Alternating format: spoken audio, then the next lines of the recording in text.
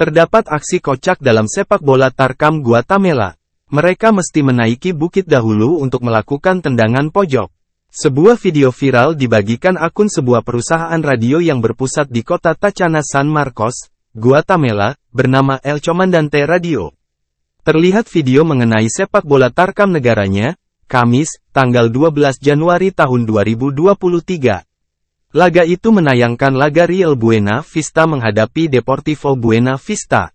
Tampak keduanya bersemangat untuk memperebutkan bola.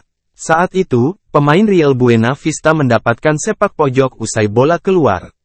Namun, yang menjadi perhatian adalah pemain bernomor punggung 15 itu menaiki bukit untuk melakukan tendangan pojok. Para pemain lainnya juga bersiap di depan gawang untuk mencetak gol. Beruntungnya, Bola dapat diantisipasi pemain Deportivo Buena Vista. Tidak diketahui berapa hasil skor yang diraihnya. Tetapi, patut diacungi jempol kegigihan pemain untuk bermain sepak bola.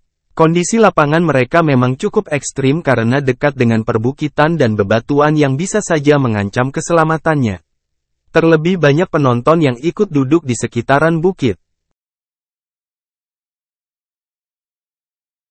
Terima kasih sudah nonton. Jangan lupa like, subscribe, dan share ya.